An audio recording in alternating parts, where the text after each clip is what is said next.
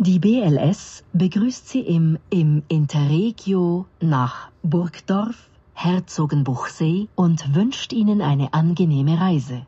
Nächster Halt Burgdorf. Burgdorf. Wenigen. Wir treffen in Herzogenbuchsee ein. Endbahnhof. Die BLS bittet Sie auszusteigen und verabschiedet sich von Ihnen.